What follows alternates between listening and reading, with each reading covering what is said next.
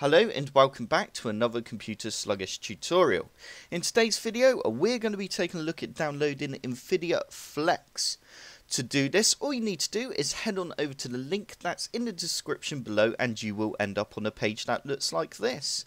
Once you're on this page you now need to click on this button that says join the GameWorks Access team and just quickly fill out the registration form. It only takes a couple of seconds but you will need a valid email address as you do need to verify it.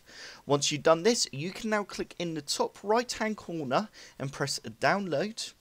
Obviously make sure you're logged in as well and you'll end up on a page that looks like this. You now need to press Ctrl and F and just type in flex and as you can see it's highlighted it's about is just over halfway down the screen.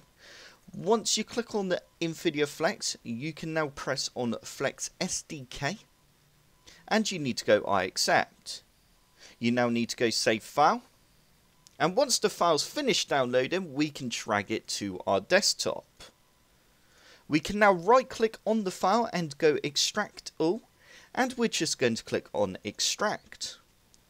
Once Flex has finished extracting, you should have a window pop up, which looks like this. It should just have a Flex folder inside. We can double click on that folder, and we can now put that into full screen, and we can now double click on the bin folder at the top. Then you need to select your operating system. I'm going to go with Windows 64-bit. Then you can now double click on the NVFlex demo release.exe and we need to go run.